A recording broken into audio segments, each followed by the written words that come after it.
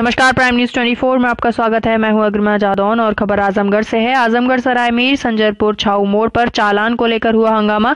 आइए बताते चले, खबर है उत्तर प्रदेश जनपद आजमगढ़ थाना सराय मीर क्षेत्र के अंतर्गत छाऊ मोड़ संजरपुर में चालान काटने पर हुआ हंगामा, जिसमें महाप्रधान राजनीति यादव ने फालतू चालान काटने पर उठाई आवाज़। आइए सुनाते हैं पूरी कहानी।